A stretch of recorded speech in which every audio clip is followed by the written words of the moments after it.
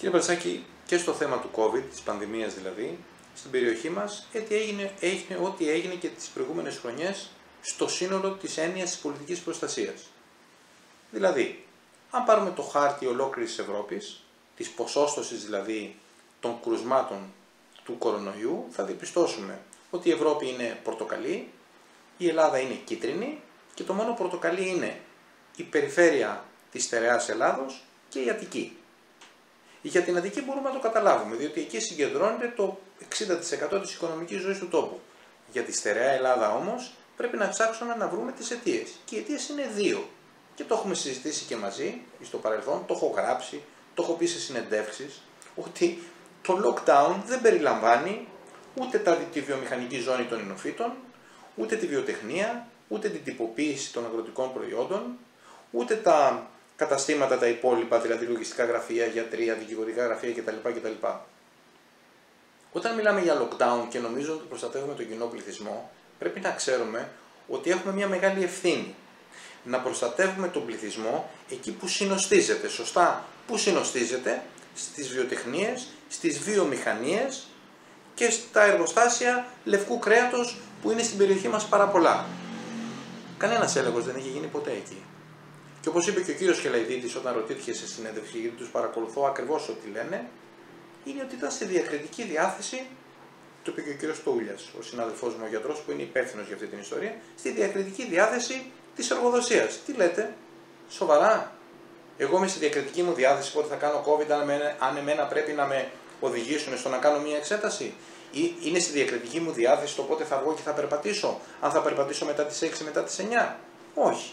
Πώς είναι στη διακριτική τους διάθεση; Και γιατί ο ΟΔΗ που τα κάνει όλα τσάμπα δεν πήγε απ' έξω από τα εργοτάξια να ελέγξει όλους εκείνους τους εργαζόμενους; Και γιατί η διεύθυνση εργασίας δεν πήγε να δει τις συνθήκες εργασίας; Παρεπιπτόντως, όλες οι μεγάλες βιομηχανίες έχουν γιατρό εργασίας. Γιατί δεν καλέσαν τους γιατρούς εργασίας να τους επιβάλλουν συγκεκριμένα μέτρα; Να γιατί φούντωσε η στερεά Ελλάδα. Τίποτα δεν είναι τυχαίο, ξέρετε.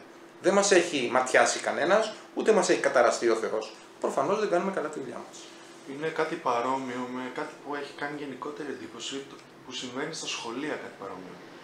Ε, είναι λέει στη διακριτική διάθεση του κάθε δασκάλου, του κάθε καθηγητή, αν θέλει να πάει να κάνει το τεστ. Ναι, αυτό είναι τραγικό. Ε, τραγικό. Και υπάρχουν δηλαδή τραγελαφικέ περιπτώσεις. Ε, εδώ φταίει και το κράτος. Ναι. Οι δάσκαλοι δηλαδή που δεν τους, τους εκάλεσαν και δεν πήγαν να κάνουν εξετάσεις γιατί λέει, δεν, δεν θέλαν να κάνουν εκείνοι εξετάσεις. Δεν καταλαβαίνω γιατί, δεν τους, γιατί τους ρωτάνε. Όταν μιλάμε για ζητήματα ε, υγιεινής της κοινωνίας και για προστασία ολόκληρης της κοινωνίας, δεν νομίζω ότι διακορεύονται ή διαταράσσονται τα ανθρώπινα δικαιώματα ενός δασκάλου για το αν θα πάει να κάνει μια εξέταση COVID. Είναι προστασία δικιά του, προστασία της οικογένειάς του και κυρίως προστασία των παιδιών. Αυτή την ευαισθησία à la carte δεν την καταλαβαίνω. Δεν υπάρχει ίδια ευαισθησία για μένα που δεν μπορώ να βγω μετά τις 6 το Σαββατοκύριακο να περπατήσω. Σωστά; Γιατί εγώ δεν είμαι δηλαδή πολίτης. Για μένα δεν υπάρχουν ανθρώπινα δικαιώματα. Και ποιος σου είπε ότι είναι συνταγματικό δικαίωμα η απαγόρευση να βγω να περπατήσω; Σας πληροφορώ ότι είναι μεγάλη παραβίαση του ελληνικού συντάγματος, την οποία την έχουμε καταπιεί όσοι αισθανόμαστε ότι καταλαβαίνουμε τι γίνεται, γιατί εν πάση περιπτώσει είπαμε να βγούμε καθαροί από αυτή την ιστορία. Αλλά από αυτό το σημείο μέχρι το σημείο να έχει 70 κρούσματα ας πούμε μια βιομηχανία λευκού κρέατος και να μην την κλειδώνουν όπως κλειδώσανε την Πίνδο στην Ήπειρο πέρυσι το καλοκαίρι, υπάρχει μεγάλη διαφορά. Υπάρχει μεγάλη προστασία σε αυτό το νομό. Ή υπάρχει μεγάλη αδιαφορία σε αυτό το νομό. Ή, εν πάση περιπτώσει, υπάρχει μεγάλη ασχετοσύνη σε αυτό το νομό και σε αυτή την περιφέρεια. Α διαλέξουν τι απ' όλα είναι. Φυσιολογικό πάντω δεν είναι. Ούτε λογικό είναι. Είναι πολύ μεγάλο λάθος και έχουν ευθύνη και γι' αυτό. Τι να κάνουμε. Αυτή είναι η πραγματικότητα. Υπάρχει βέβαια και ένα μέρος του κόσμου που μπορεί να αρνείται, να μην δέχεται ότι μπορεί να υπάρχει κορονοϊός, ότι είναι κοροϊδία.